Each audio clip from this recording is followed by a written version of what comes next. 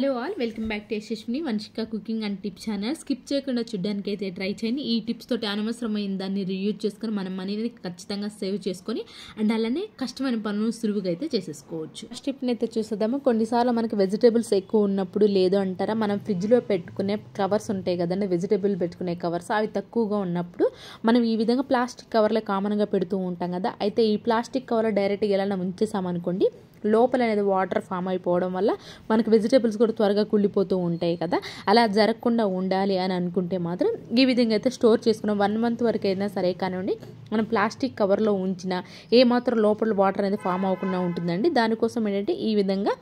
ఒక బౌల్ తీసుకొని వాటర్ పెట్టేసేసి మనం కొంచెం గవర్ని గట్టిగా పట్టేసుకోండి కొంచెం కొంచెం గాలి ఏదైతే ఉంటుందో కొంచెం కొంచెం మనం పట్టుకున్న దగ్గర గాలి వదిలేసుకుంటే ఈ విధంగా వాటర్లో డిప్ చేసుకుంటే కనుక ఉంచేసాము అనుకోండి ఈజీగా మనకు ఫ్రీజ్ అయిపోతాయండి మనం ఒక సూపర్ మార్కెట్స్లో చూస్తూనే ఉంటాం కదా ఇలా ఫ్రీజ్ చేసినవి ఉంటాయి ఉంటాయి కదా వెజిటేబుల్స్ చాలా రోజుల వరకు నిల్వ ఉంటాయి అయితే వాళ్ళు ఏం చేస్తారంటే వ్యాక్యూమ్ క్లీనర్తో లోపల ఉన్న ఎయిర్ మొత్తం తీసేస్తూ ఉంటారు కదా మనకు వ్యాక్యూమ్ క్లీనర్ అవసరం లేకుండా ఈ విధంగా కనుక చేసేసుకొని ఫ్రిడ్జ్లో కనుక పెట్టేసుకున్నామే అనుకోండి ఎన్ని డేస్ అయినా సరే కానివ్వండి మనకి వెజిటేబుల్ అనేది కొంచెం కూడా కుళ్ళు అనేది జరిగినది లోపల వాటర్ కూడా ఫామ్ అవ్వకుండా అయితే ఉండి ఇది సింపుల్ టిప్ని ట్రై చేయండి నెక్స్ట్ టిప్ వచ్చేసి గ్యాస్ సిలిండర్ సంబంధించి సూపర్ యూస్ఫుల్ టిప్ అండి గ్యాస్ సిలిండర్ మనం యూజ్ చేస్తూ ఉంటామండి కొన్నిసార్లు కొన్నిసార్లు మనకి ఎప్పుడు అయిపోతుందో కూడా తెలియదు ఎన్ని నెలలు వస్తుందో కూడా మనకు తెలియదు కదా కొన్నిసార్లు మనం ఎప్పుడు బుక్ చేసాం అనేది మర్చిపోతూ ఉంటాం అలాంటప్పుడు సింపుల్గా మనకి ఎక్కడైతే ఎప్పుడైతే గ్యాస్ సిలిండర్ పెడుతూ ఉంటామో ఆ రోజు కనుక డేట్ కనుక చాక్ పీస్తో కనుక వేసేసుకున్నామే అనుకోండి మళ్ళీ దాన్ని మనం ఎన్ని రోజులు వాడతాం అనేది ఈజీగా గుర్తుండిపోతుందండి అట్ ద సేమ్ టైం మళ్ళీ మనం బుక్ చేసుకోవాలి అనుకున్నప్పుడు కూడా ఎప్పుడు అనేది మనకి ఈజీగా మర్చిపోతూ ఉంటాం అలాంటప్పుడు కూడా ఈ విధంగా మనకి గ్యాస్ సిలిండర్ పైన వేసేసుకున్నాం ఓకే మనకి ఒక ఐడియా అంటూ ఉంటుంది ఎవరికైనా ఎక్కువ గ్యాస్ సిలిండర్ కొన్నిసార్లు కొన్నిసార్లు ఏమవుతుందంటే గ్యాస్ సిలిండర్ తీసుకొచ్చేటప్పుడు కొంతమంది సగం వాడేస్తున్నట్లు ఇప్పుడైతే న్యూస్ వస్తున్నాయి కదండి అలా న్యూస్ వచ్చినప్పుడు మనకి ఇబ్బంది లేకుండా తెలియాలి మనకు ఫుల్ సిలిండర్ ఉందా లేదా అని తెలియాలి అనుకున్నప్పుడు ఈ విధంగా గ్యాస్ సిలిండర్ మీద చాక్పీస్తో కనుక వేసేసుకున్నారనుకోవడమే మనకి డేట్ అనేది ఉండిపోతుంది కాబట్టి మనకి ఎన్ని నెలలు వాడుతున్నాము ఎప్పుడు బుక్ చేసుకోవాలో సింపుల్గా అయితే తెలిసిపోతుంది నెక్స్ట్ టిప్ వచ్చేసి కరెంట్ పోయినప్పుడు కామన్గా అందరూ ఏం చేస్తూ ఉంటామండి ఫ్లాష్ లైట్ అనేది ఆన్ చేస్తాం ఎవరైనా కొంతమంది కానివ్వండి క్యాండిల్స్ వెలిగిస్తుంది ఇప్పుడు కామన్గా ఫోన్ వచ్చేసింది కాబట్టి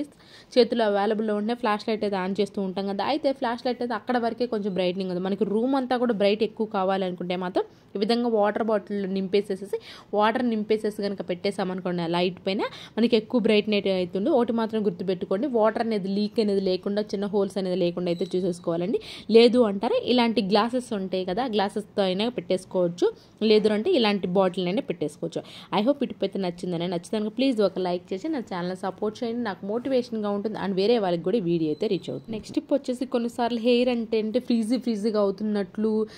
డ్రై అయిపోతున్నట్లు అనిపిస్తూ ఉంటుంది కొంతమంది డ్రై లేకుండా సాఫ్ట్గా సిల్కీగా ఉండడానికి కొంచెం లిక్విడ్స్ అనేవి వాడుతూనే ఉంటారు కదండి బయట నుంచి సిరమ్స్ అనేవి వాడుతూ ఉంటారు కదా అయితే ఇంట్లో న్యాచురల్గా ఎలాంటి సిరమ్ వాడకుండానే మన హెయిర్ అనేది మంచి సిల్కీగా ఉండాలి డ్రైనెస్ అనేది లేకుండా ఉండాలి అని అనుకుంటే మాత్రం విధంగా పెరుగు ఉంటుంది కదండి పెరుగును కొంచెం తిక్కిదే తీసేసుకొని వాటర్ అనేది కలపకుండా ఇలా స్పూన్తో కలిపేసి హెయిర్కి పట్టించేసి ఒక హాఫ్ అన్ అవర్ ఉంచేసి ఆ తర్వాత కనుక హెడ్ బాత్ కనుక చేసేసి అనుకోండి మనకి ఆ డ్రై అనేది లేకుండా సిల్కీగా స్మూత్గా అయితే ఉంటుంది హెయిర్ అనేది అండ్ నెక్స్ట్ టిప్ వచ్చేసి మనం ఊర్లకి కానివ్వండి జర్నీలకి ఎక్కడికైనా వెళ్ళేటప్పుడు లేదంటే ర్యాక్స్లో కానివ్వండి బట్టలు కనుక చున్నీ ప్లస్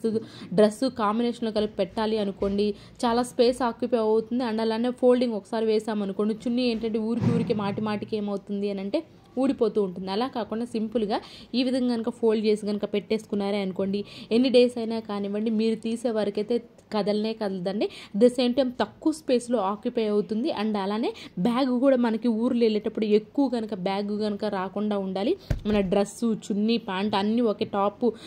ప్యాంటు అలాగే చున్ను ఒకే దగ్గర ఉండాలి అనుకున్నప్పుడు మాత్రం ఈ విధంగా కనుక ఫోల్డ్ చేసి పెట్టేసుకున్నారనుకో ఎన్ని డేస్ అయినా సరే కానివ్వండి మనకు ఒకే దగ్గర అయితే ఉండిపోతాయి అండి డ్రెస్సులు అనేవి తక్కువ తక్కువ స్పేస్లో ఎక్కువ అని బట్టలేదు ఆక్యుపై చేసుకోవాలనుకున్నప్పుడు సింపుల్గా ఈ విధంగా అయితే ట్రై చేయండి and pants only pants work చేయాలన్నప్పుడు ఈ సింపుల్ ట్రిక్ని అయితే ట్రై చేయండి అండ్ నెక్స్ట్ టిప్ వచ్చేసి యాలకులు మనము ఏదైనా స్వీట్స్లు వేస్తూ ఉంటాం కదండి అయితే కొంతమంది ఏంటంటే అప్పుడప్పుడుకి పౌడర్లా చేసుకుంటూ ఉంటారు పైన పౌడర్లా లేదు అంటారు కొంతమంది ముందుగానే పౌడర్లా చేసుకుంటూ ఉంటారు కదా అయితే మీకు